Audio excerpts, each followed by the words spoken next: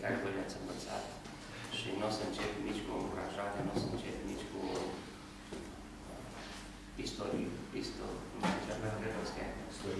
istorioară. o să încep cu o mustrare și îmi cer scuze, deci bă, ăsta vine era și atunci ne mustră. Uh, nu, nu vreau să învățăm ceva. Am sesizat un anumit aspect și am toată libertatea să-l vorbesc, simțindu-mă parte cu voi. Și anume, uh, ieri și astăzi uh, am participat împreună cu voi la două rugăciuni, la trei rugăciuni, da? Trei rugăciuni am fost împreună cu voi, la trei rugăciuni am fost împreună cu voi. Iar din aceste trei rugăciuni, uh, două rugăciuni au fost pentru sponsor, pentru bani, pentru nevoi. Uh, nu sunt rupt de realitate și sunt conștient de dificultăți, sunt conștient de dificultatea prin care trece toată țara, toată lumea până la urmă, ITP-ul, voi ca și studenți, pentru că mă aduc și aminte de tensiunea aceasta pe care o aveam uh, legată de cum ne vom uh, plăti, cum ne vom aplica taxele. Am să vă spun însă un lucru. Dragii mei, dacă din trei rugăciuni două au fost pentru astea, pentru mine îmi spune că aveți o gândire dezechilibrată și nefocalizată pe ceea ce este important. Mai important decât banii la școală, mai importante sunt uh, proiectele și programele de uh, formare, de dezvoltarea abilităților în slujire. Mai important decât dezvoltarea abilităților în slujire este formarea caracterului. Okay? Uh, nu vă lăsați dezechilibrat și văd că este o tradiție care merge deja din generație în generație. Când mergem la capelă, ne, ne plângem de lipsa asta. Lipsuri sunt peste tot, nicăieri, apropo, încă nu era pe pământ nicăieri. Uh, rugămintea mea este să vă echilibrați și să vă refocalizați pe ce este important. Mai important de... Am să vă spun un lucru cu toată libertatea. Dacă trebuie să te duci acasă pentru că nu vei avea bani de taxe, înseamnă că trebuie să mergi acasă. Înseamnă că n-ai ce să cauți aici. Eu cred în Providența lui Dumnezeu. Eu cred că Dumnezeu stăpânește și cunoaște toate lucrurile. Eu cred că Dumnezeu cheamă și Dumnezeu răspunde nevoilor. Okay? Nu vă stresați cu ce nu cazul. Eu am impresia că uneori sunteți mai stresați de bani decât de învățat. Mai stresați de taxe decât de formarea caracterului. Mai stresați de balanța financiară decât de implicarea în, în procesul ăsta de formare. Okay? Deci, puneți accent pe ce trebuie și Dumnezeu este credincios să răspundă nevoilor. Okay? Focalizați-vă pe, focalizați pe ce este important. Uh, și dacă tot am pornit de la motivele de rugăciune, uh, trebuie să continui și în această dimineață un gând, o idee pe care am prins-o ieri dimineață de la unul dintre studenți, uh, uh, care a făcut următoarea afirmație și aș vrea să stăm în jurul acestei afirmații, și anume, spunea fratele Lucian următorul lucru. Ceea ce suntem este mai important decât ceea ce facem. Pentru că ceea ce suntem ne dă identitatea noastră în Hristos și Dumnezeu ne validează după ceea ce suntem. În Matei, uh, la un moment dat, este pasajul acesta destul de controversat. Uh, noi din orice pasaj facem o controversă, e adevărat, asta e mai a noastră problemă. Plecați de la mine că nu vă cunosc. Doamne, n-am făcut cu tare, n-am făcut cu tare. Dar nu, nu ce ai făcut este atât de important. Pleacă de la mine că nu te cunosc. Ce vorbește asta? Despre identitatea noastră. Nu te cunosc, nu te știu, nu știu cine ești, nu ce ai făcut.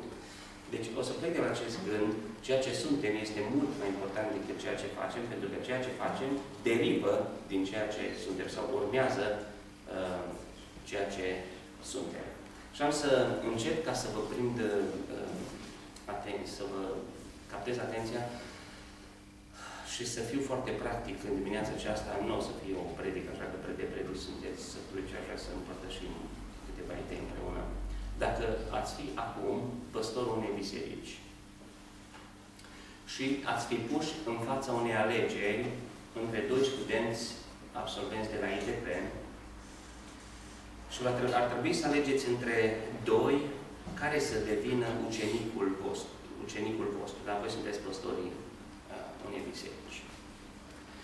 Unul dintre ei, vă uitați la el și excelează prin abilități. Dom'le, fuge mintea, uh, e atent, e citit, uh, predică bine, are abilități de slujire. Te uiți la celălalt și excelează prin caracter. Nu are abilitățile la nivelul primului, okay? dar este un om vertical, este un om de caracter, este un om care este același în ascuns ca și în public, pentru că testul caracterului până la urmă este singurătatea. Okay? Și vă întreb pe voi, pe care dintre cei doi ați alege?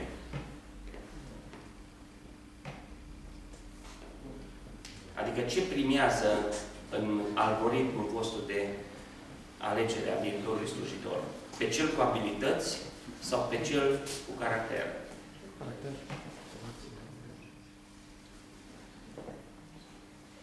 Răspund simplu, nu?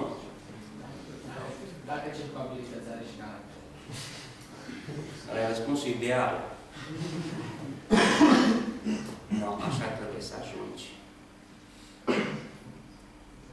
un om cu caracter care își dezvoltă abilitățile la potențial maxim. Asta trebuie să ajungem. Oameni de caracter care să ne dezvoltăm potențialul, abilitățile la nivelul maxim după înzestrările pe care Dumnezeu le-a făcut pentru noi. Noi nu trebuie să fim stresați să ne depășim capacitatea abilităților, pentru că acolo există le șlefuim, le perfecționăm, mergem până la maxim posibil. Dar în primul și în primul rând suntem chemați să ne șlefuim și să ne formăm caracterul. Okay?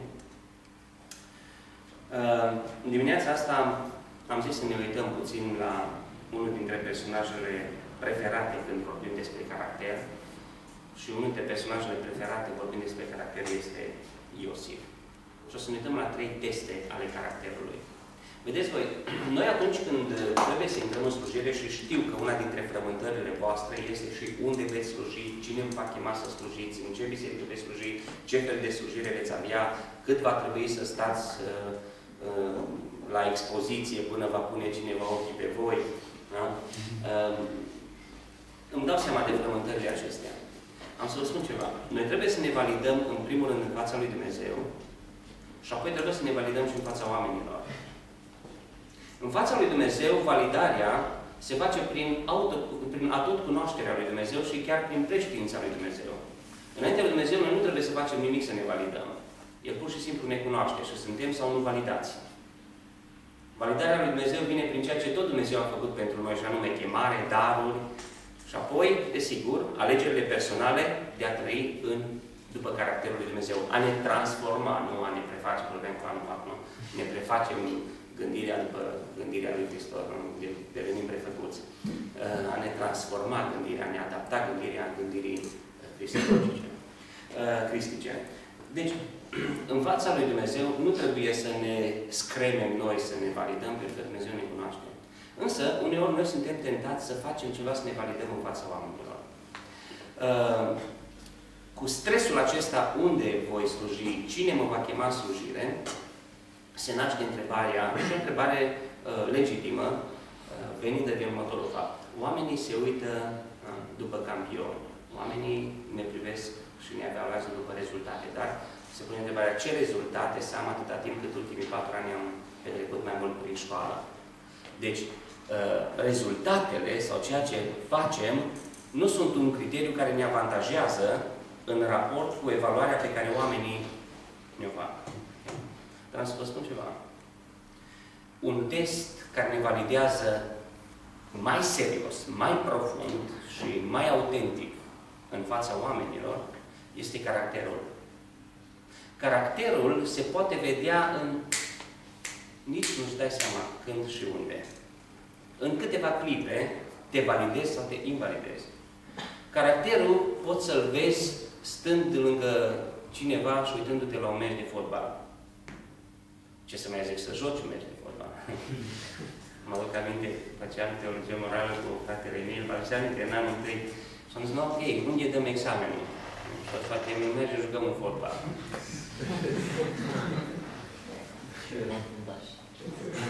Da. Cine rezistă la ceantele?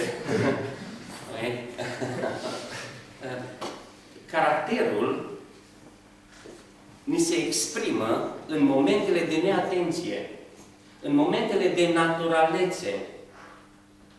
Caracterul se vede în momentele de normalitate, nu în momentele în care suntem concentrați să salvăm aparențele.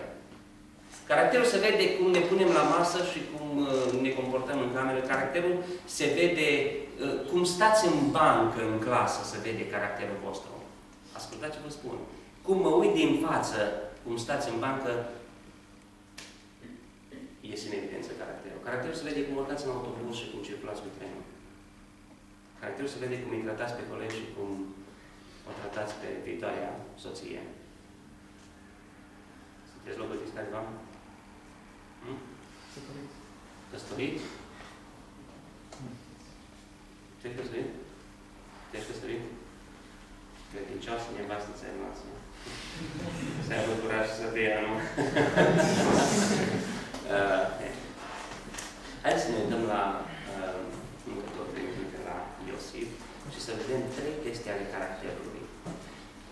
În poziția, în situația în care era Iosif, n-avea absolut nicio motivație să influențe, să impresioneze pe nimeni. În dezamăgirea în care el putea să ajungă, el nu mai avea, cred că, chef să mai impresioneze și să mai, uh, știu eu, să salveze aparențe. Nu. Iosif a fost cel care a fost. N-a fost altul în momentul în care a ajuns în Egipt, vândut de frații Primul test la, pe care, la care Iosif a fost supus, un test al caracterului, a fost testul adversității. Ce înseamnă asta? Să ai dușmani și să nu-ți pierzi mințile. Să ai dușmani și să nu-ți pierzi mințile. Testul adversității. Va fi unul dintre primele teste pe care, cu care vă veți confrunta și probabil vă v-ați și confruntat. Să ai dușmani sau să ai oameni, hai să nu-i numesc neapărat dușmani, să ai oameni care nu te iau la inimă, să fie oameni, poate în biserică în care ți-ai dorit să mergi și să nu te aibă la inimă și cu toate acestea să nu-ți pierzi mintea. Să nu reacționezi, să nu devii agresiv, să nu începi să faci scindări, să nu începi să faci partide, să nu începi să fragmentezi biserică, să nu începi să lucrezi împotriva voii lui Dumnezeu. Să ai adversari și să nu-ți pierzi mințile. Știți eh, cum se validează acest lucru? Să ai dușmani și să nu cazi în descurajare. Să nu aluneci în descurajare. E foarte simplu, mai ales pentru voi care uh, stați mai mult aici și când mergeți în biserică și găsiți uh, niște adversități, niște oameni care nu vă înghit. Uh, sau dacă vă înghit, trebuie să bea multă apă după să alunecați. Uh, și să nu fiți descurajați, pentru că descurajarea este un prim pas înspre rebeliune. Okay?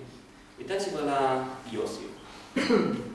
Vândut de frații lui, acuzat pe nedrept, uitat în închisoare, câte lucruri, cât, câți oameni s-au comportat cu el ca adversari.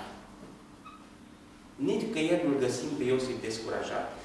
Îmi place o imagine extraordinară din ceea ce s-a petrecut. Iosif era în închisoare și, și acolo ajunge să aibă o poziție de conducere. Iosif e un lider, apropo de anul 4, când vorbim despre Iosif, este un exemplu de leadership Iosif. Uh, și acolo ajunge să aibă o anumită poziție și la un moment dat, mergând, uh, umblând în închisoare, vede, uh, vede doi oameni descurajați, distruși. Paharnicul și pitarul. Și este un element de acolo de definiție și spune că Iosif s-a apropiat de ei și le-a văzut fața întristată. Le-a văzut Iosif fața întristată. Bă, fraților, ascultați-mă bine. Uh, într-un necaz, într-o situație ca și Iosif, să mai ai ochi să vezi fața întristată al, al, al, al cuiva? Păi ăștia doi noi fii aduși acolo, în închisoare, primul impuls pe care noi l-am avea, pe care eu l-aș avea, ar fi să mă duc și să încep. Bă, băieților, mă, sunteți proaspeți, așa? Hai să vă spun, îți de aici de o grămadă de ani și stau pe nedrept, mă. Și să încep și să mă plâng și să le explic cum eu stau pe nedrept, cum eu uh, sufăr, cum eu am fost vândut, cum eu am adversari, cum uh, eu și eu. Pentru că cea mai mare problemă din univers sunt eu. Și problemele mele devin cele mai mari și lipsa fondurilor cea mai mare pentru mine și nevoia financiară cea mai mare pentru mine și toate sunt în jurul meu. Ok? Iosif se duce prin închisoare și are ochi să vadă fața întristată a altor doi oameni. Știți ce spune asta? Iosif nu a fost descurajat. nu s-a putut duce să-i întrebe care e problema lui dacă n-ar fi zâmbit. Eu nu cred că s-a dus fără să zâmbească. Când te duci să-l întrebi pe cineva care e problema lui, te duci să-l încurajezi. Iosif, în, în ciuda adversității, are resurse să încurajeze pe alții. De ce? Testul adversității pentru el nu a alunecat în descurajare. N-a făcut rebeliuni acolo, în, nici măcar în închisoare. Să spargă geamurile, să scoată, să aprindă uh, salterele. Paie, paiele, salterele. Okay? un alt, o altă formă prin care, uh, prin care uh, putem să ne manifestăm vis-a-vis -vis de acest test al adversității este să nu ne răzbunăm. Să nu ne răzbunăm. N-a alunecat în descurajare și nu s-a răzbunat. A ajuns prim-ministru. Putea să înceapă să caute, nu? Să-și facă SRI și să înceapă să caute în arhivă, nu? Și să ia pe rând să-și, cum e, hai, dacă tot e la modă, nu? Să înceapă să-și adune memoriile, nu? Nu e vorba despre asta, și nu credeți că am o poziție și nici nu fac aluzie la uh, discuțiile în bogă. Uh, putea să se răzbune pe frații lui, putea să se răzbune pe paharnic, putea să se răzbune pe nevasta lui Potifar, putea să răzbune pe atâția oameni. Un om de caracter nu se răzbună mai Fraților, un om de caracter nu se răspunde. Cunosc pe un om care era student în anul terminal la institut și uh, i s-a propus acestui frate să meargă să păstărească într-o biserică. A fost supus la votul bisericii după toate rigorile democrației. A fost ales și validat ca să urmeze să fie păstor și au început lupte de culise în spate. El era student, Și au început să se spună lucruri neadevărate și povești și revoluții de acolo. Era cineva care nu convenea lucrul ăsta. A ales să stea liniștit și să spună cu toată libertatea că va merge în altă parte. Și era validat și avea 90% din voturi. Nu s-a dus într-o biserică să se lupte pentru opoziție. Nici nu s-a răzbunat de cei care uh, s-au ridicat împotriva lui. Testul adversității, să nu aluneci în descurajare și să nu te răzbuni. Al doilea test este testul obscurității. Să ajungi un nimeni și să nu-ți pierzi mințile. Să rămâi un nimeni și să nu-ți pierzi mințile. Frați dragi, vă spun cu toată libertatea și cu toată dragostea, nu vă luați modele de slujire VIP-urile care umblă cu mașini negre cu număr VIP. Nu ai modelul de slujire. Modelul de slujire nu trebuie să fie și ținta voastră nu trebuie să fie momentul în care veți avea suficienți bani să aveți A6.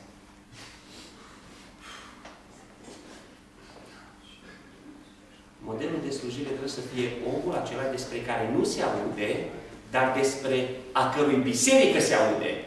Știți că sunt două feluri de păstori. Sunt păstori de care auzim, dar n-auzim niciodată de biserica lor.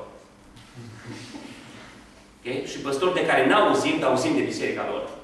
Vrei să zidești un nume sau o biserică? Alege. Testul obscurității să fii un nimeni și să nu-ți pierzi mințile. Dar am terminat ITP-ul. Și ai avut o binecuvântare să stai patru ani într-un mediu, într-o Arabie, okay? în care să pot să aprofundez cuvântul Domnului. Întrebarea mea, o faci? Ce te piedică? Ai 24 de ori în care nu te deranjează nimeni. Okay? Ce te preocupă acum? Ce te-a preocupat în ăștia patru ani? S-ar putea să termini școala și să te duci și, și vă duceam imaginea aceea, mi se pare anul trecut în mesaj, să te pună olarul pe raft, să fii format, ars, uscat, decorat, gata de folosință și să stai pe raft. Și să aștepți să vină cineva să te ia de pe raft. Dacă te uiți și începi să faci, s-ar putea să rămâi ultimul pe raft, singur, să te umple praful. Crezi că dacă te scuturi și rupi raftul, rezolvi ceva? După ce ai crăpat în bucăți și oamenii ți-au văzut caracterul, crezi că te mai validează cineva pentru slujire? Okay? Să ai tăria și să reziști testului singurătății. Să reziști testului singurătății. Spunea cineva, mi-a plăcut pe mult, Păi Iosif au stat greu hainele.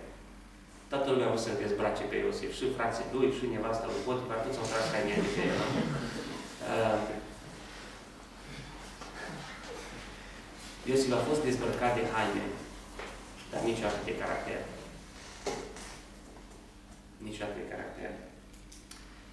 Poziția, esența unui slujitor tânăr începe înainte să facă ceva. Capacitatea unui slujitor tânăr începe înainte să facă ceva. Începe prin a lucra la sine și la formarea propriului caracter. Să faci față singurătății și să faci față nedreptății.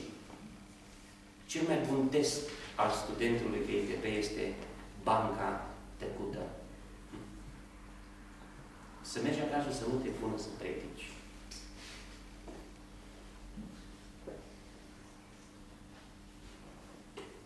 Și tu să te duci la fel de bucuros ca și cum ai fi făcut ceva sau n-ai fi făcut ceva.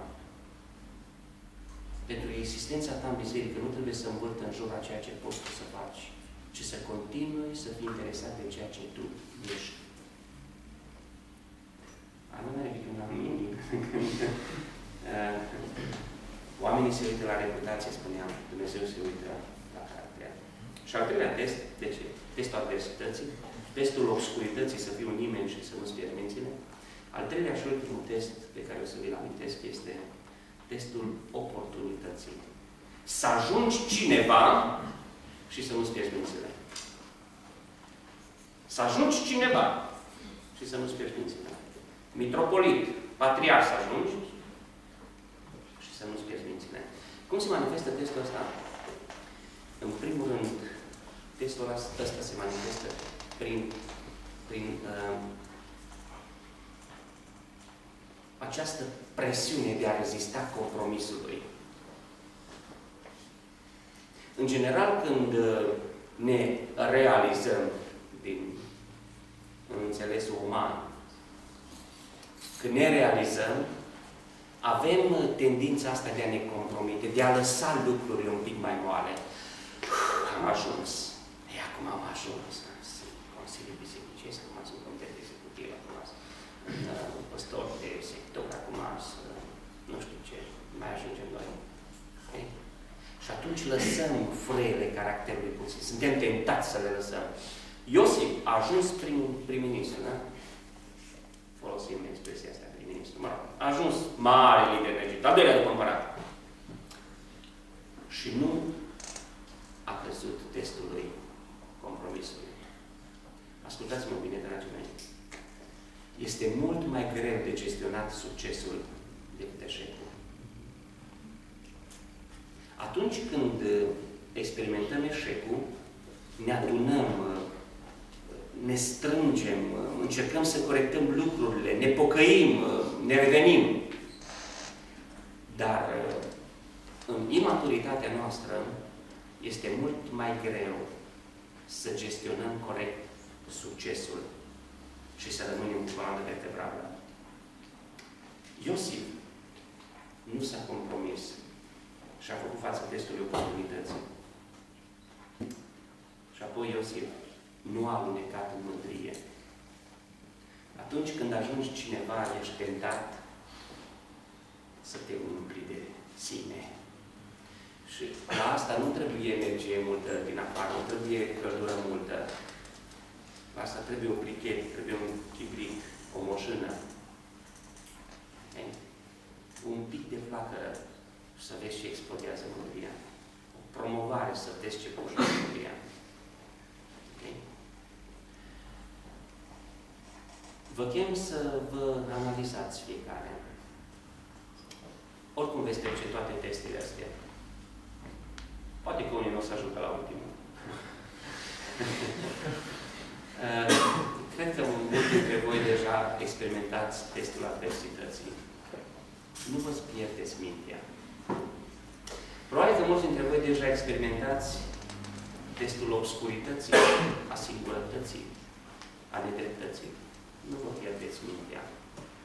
S-ar putea ca unul dintre voi să ajungă să se confrunte și cu testul oportunității. Nu vă pierdeți mintea.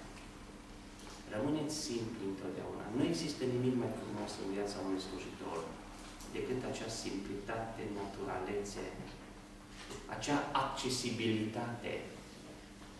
Fiți simpli, inclusiv când veți fi provocați să intrați în slujire. Am să vă spun un, un sfat practic, simplu de tot. Niciodată să nu mergeți să vă negociați salariul când vă cheamă să mergeți păstor.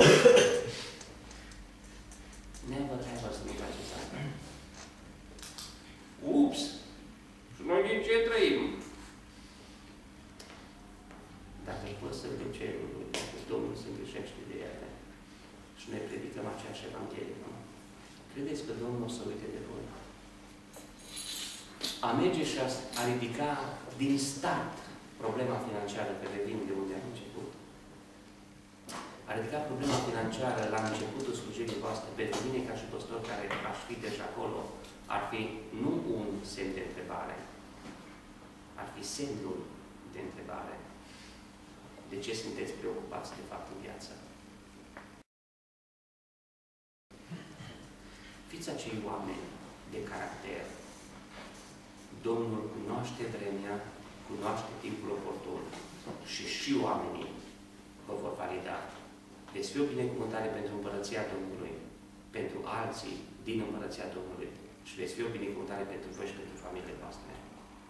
Domnul să vă binecuvânteze la asta.